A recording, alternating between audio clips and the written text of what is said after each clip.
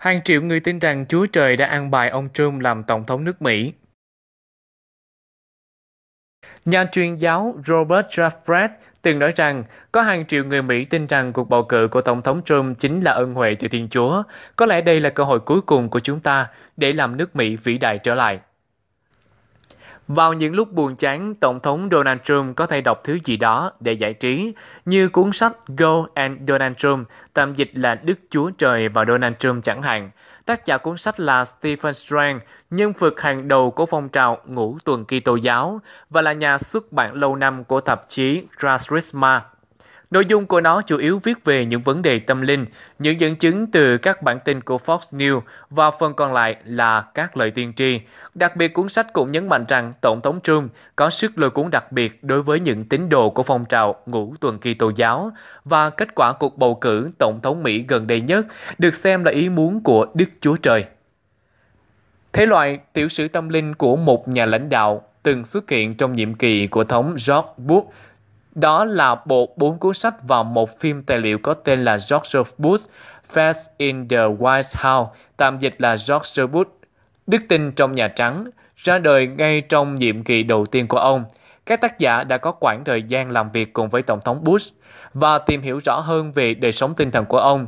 Điều thú vị là Tổng thống Bush khá chú trọng việc đến thánh đường khi còn ở Texas và khi nói về Thượng Đế hay Chúa Giêsu thì ông thường nói một cách khá tự nhiên.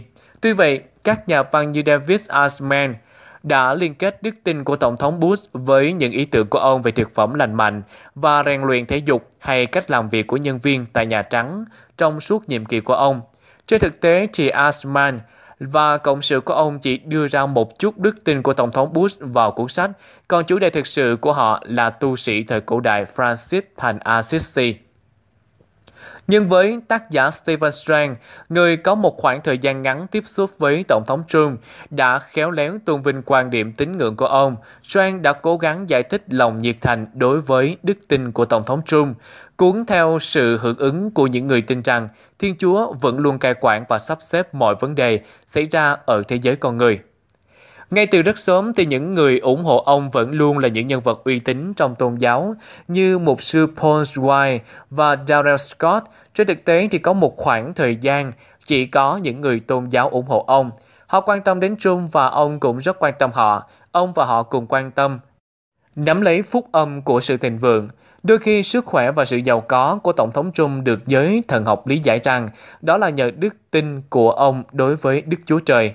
Soan lập luận rằng vào hồi năm 2016, những người thuộc tôn giáo ủng hộ Tổng thống Trump vì các lý do quen thuộc đối với bất kỳ độc giả nào của Fox News, chẳng hạn như nỗi lo sợ về chủ nghĩa toàn cầu, các chính quyền ngầm, sự trỗi dậy nguy hiểm của tỷ phú George Soros, tàn dư của Đức Quốc xã và những gian lận quy mô lớn trong bầu cử. Họ thích Trump bởi vì ông nói rằng ông rất thích họ. Ông nói với họ rằng họ đang bị khủng bố và thề sẽ đứng lên để bảo vệ họ. Ông hứa rằng ông sẽ mang lại cho người dân những mùa Giáng sinh vui vẻ và ông cũng tuyên bố rằng những người tín ngưỡng tôn giáo đối với ông rất quan trọng. Bên cạnh đó thì còn một vài lý do khác thiên về tâm linh hơn. Strang đã chỉ ra một chuỗi các bằng chứng xác thực từ một số lời tiên tri rằng một ngày nào đó thì Trump sẽ trở thành ông chủ Nhà Trắng. Có một cá nhân sùng đạo công giáo tên là Thomas Zimmer ở Ý vào những năm 1980 đã tuyên bố rằng Tổng thống Trump sẽ dẫn nước Mỹ quay trở về với tôn giáo. Một số tín đồ Kitô bảo thủ đã nói về thất bại của bà Hillary Clinton trước Tổng thống Trump là một sự an bài của Thượng Đế. The Franklin Graham, Robert Jeffress cho đến Kasnet Copeland, các nhà truyền giáo đều nói rằng Thượng Đế đã giao trọng trách cho đảng Cộng hòa của ông Donald Trump. Robert Jeffress từng tuyên bố tại một sự kiện vào tháng 7 năm 2017 ở nhà thờ First Baptist of Dallas rằng có hàng triệu người Mỹ tin rằng cuộc bầu cử của Tổng thống Trump chính là ân huệ từ Thiên Chúa. Có lẽ đây là cơ hội cuối cùng của chúng ta để làm cho nước Mỹ vĩ đại trở lại. Và một khi điều này được nhận thức ngày càng rõ ràng hơn trong cộng đồng tôn giáo, họ đã huy động nhiều chiến dịch để ủng hộ ông, Chính ở khía cạnh này, cuốn sách của Strang trở nên khá hữu ích.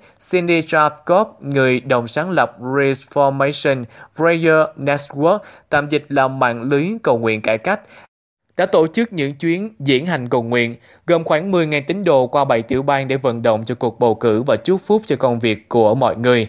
Ngày 8 tháng 11 năm 2016, Swan đã đến New York trong buổi ăn mừng chiến thắng của Tổng thống Trump và đã rất phấn khởi khi nói về kết quả này. Điều đó giống như việc Chúa đã trả lời cho những lời cầu nguyện của chúng ta. Điều tưởng chừng như không thể này đã xảy ra. Chúng ta có một tổng thống mới, người mà chúng tôi tin rằng đã được Chúa sắp đặt trong một khoảng thời gian dài. News TV, kênh thông tin giải trí chọn lọc. Hãy đăng ký để không bỏ lỡ bất kỳ clip hấp dẫn nào.